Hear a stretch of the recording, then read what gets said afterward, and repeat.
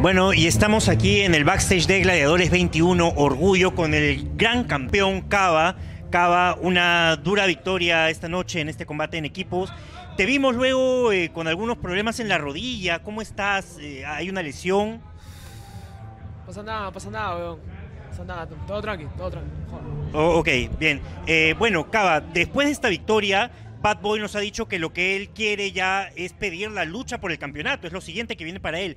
¿Cómo te sientes? Ahora Bad Boy nuevamente trató de atacarte, después lo leíste, ya estabas como prevenido después de lo del show anterior.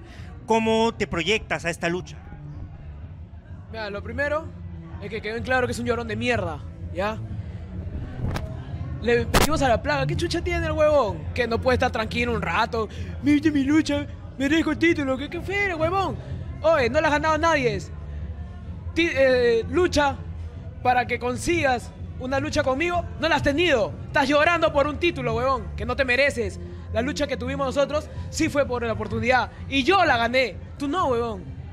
Puedo- yo acepto que tienes talento. Eres un buen luchador. Mereces muchas cosas. Pero las cosas no se merecen. No porque las merezcas te las van a regalar, huevón. ¿Ya? Yo vi el momento. Y me robé el momento, huevón. Era mi momento de ser el real gran campeón.